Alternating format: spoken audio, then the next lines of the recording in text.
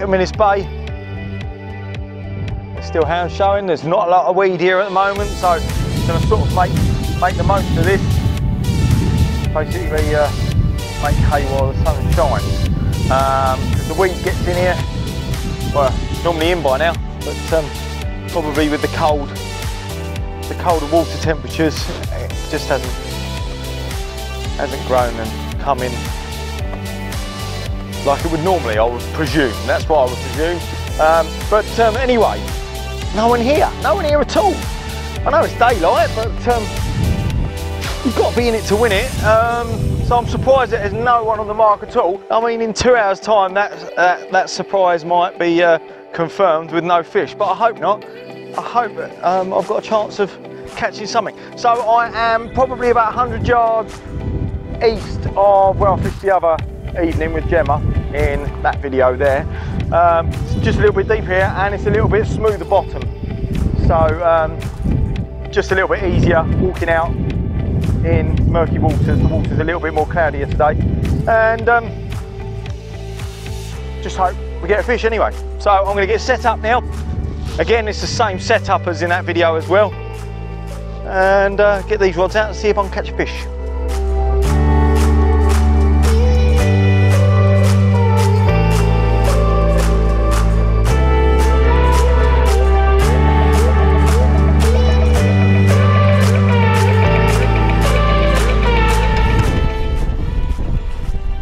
The other day, um, I made up these quick pulley dropper rigs with a circle hook, which is great.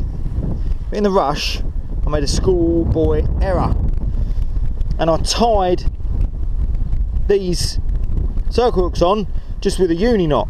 Now, really, these circle hooks want to have a nice freedom of movement um, to allow them to, to swing into the corner of the mouth as you uh, tighten down on the fish. So uh, uni knot isn't great for that and I should have realised that. So really what you want to do is tie them on with a perfection loop and that's what I'm going to do now. So I'm basically making a loop in my line there like that as you can see. There's a loop. I'm then threading that hook on like so leaving him there going another loop and just going around the back that tag then goes between those two lines. You pull the second loop through the first loop. Hold that tag. Start pulling. And it will tighten down. Now I don't want a big loop on this so I've just got to pull that round and manipulate it. Like so. So I get a small loop knot on that.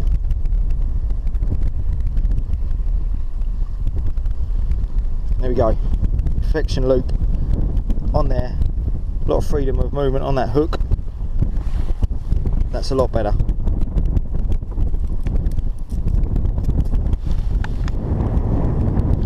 So there we have the second hook, second circle hook retied with a perfection loop. So basically that's not fixed to the line, that's not that's not only limited to moving where the line can move, that can move anywhere it wants. So as it comes out the corner of a mouth, it swing round and it'll hook, hopefully, into a smooth hound taking my bait. But to do that, I need to get some bait on the hook. So let's do that now. So we're going, uh, we're going for half peeler, prawn, king prawn, raw king prawn, not cooked. Don't go putting cooked king prawns on your hook. You won't get any bites.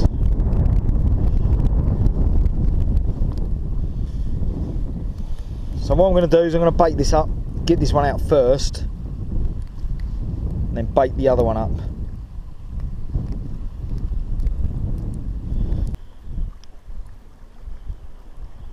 There like that. Curl that round to the back bit of elastic there.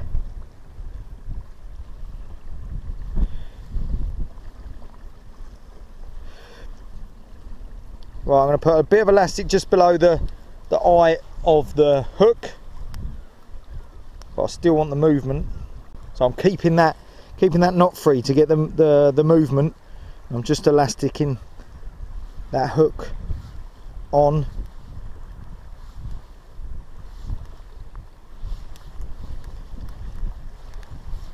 like so and again like I said in the other video you want a lot of this hook showing. You want this whole hook point clear of the bait because that's got to swing round into the corner of the mouth of the fish. This is not like a J hook where you've just got the, you can just have the point protruding out of the bait three four mil because um, that'll snag anywhere. This won't. So need the whole hook clear. A lot of freedom on that of movement let's just hope we get a taker. So let's clip this up.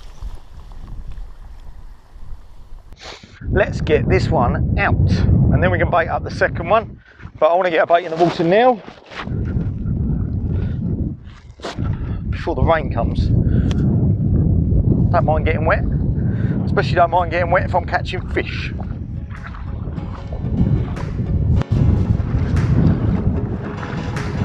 there's a lot more colour in this water than there was the other day.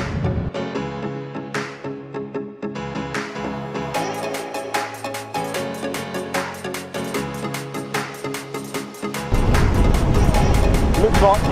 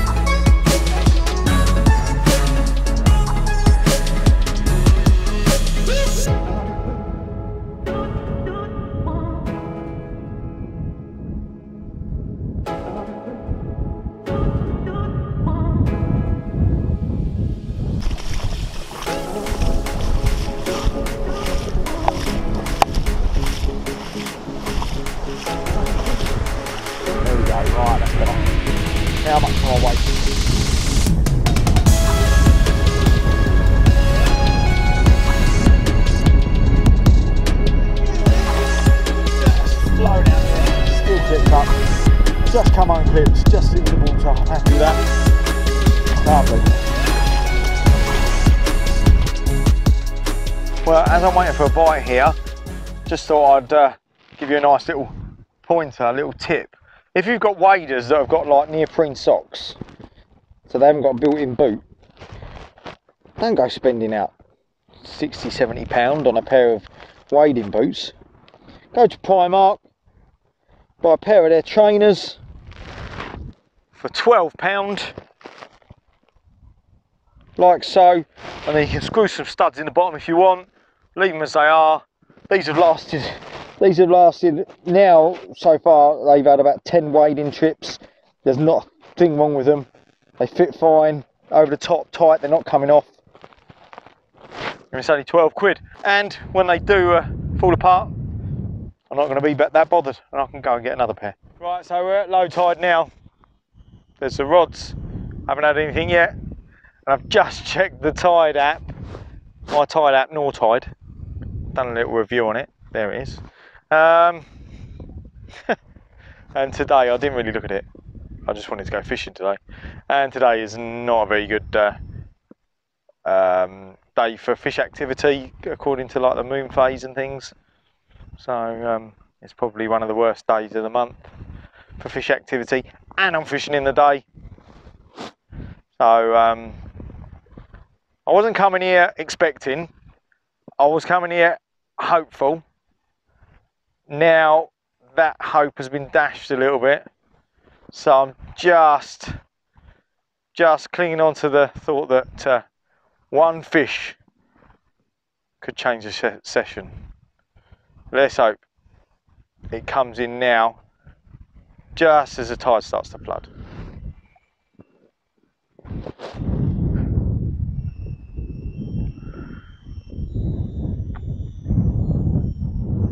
Well, I've just had a, couple of dips on the uh, the one on the right here. Bite, an actual bite, something inquiring. but it's gone again now as this tide floods in very quickly. It's obviously coming in a lot quicker than it went out for the first part.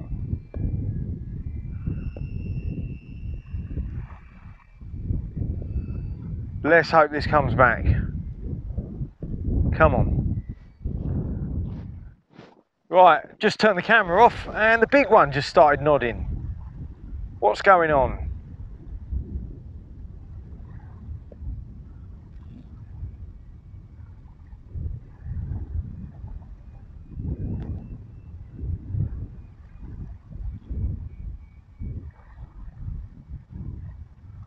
Come on, fish.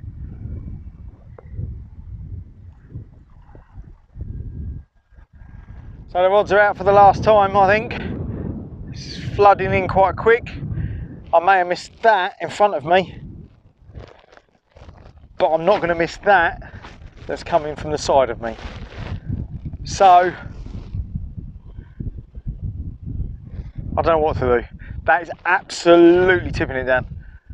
Let's just hope I get a fish to make it worthwhile. Please. Please.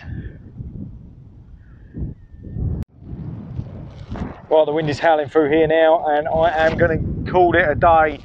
Nothing this morning. Missed bite, possibly. Something small, maybe a doggy was having a go, I don't know.